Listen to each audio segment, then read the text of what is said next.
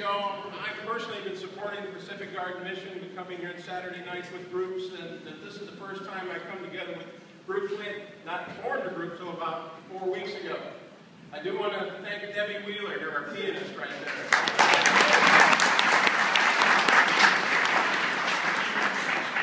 And the fellow I'd never met before, I know of his family, but, you know, most everybody looks up to John Manning uh, right here. And this is my oldest friend, because he's older than I am, and I've known him a long time. This is Pat Donnelly.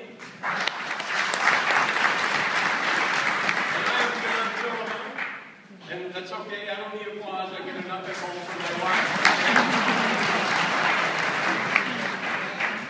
We put together some music tonight that we know would be an inspiration. We know we want to help this mission. We know we want to encourage more of you who have not helped this mission to help it.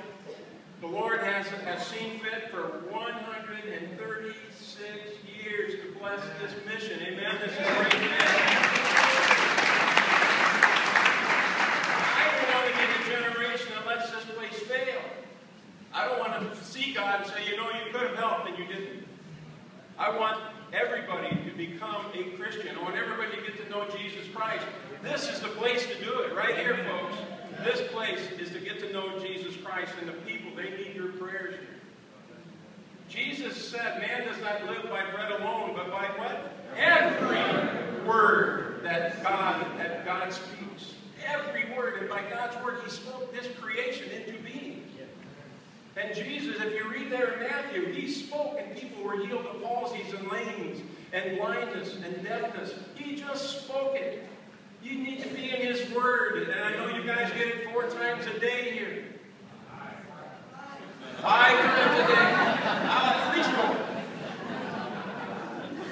And because of God's word, we're able to celebrate life and to be positive about life. And we don't take guns out and take out our frustrations on our neighbors like we see in the streets.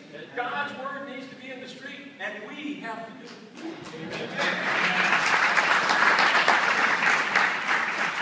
We're going to be strong in the Lord, and we're going to try a few numbers here. This one is a, is a Mosie Lister song. I'm sure you won't be sitting in your seats. This is I Woke Up This Morning Feeling Fine.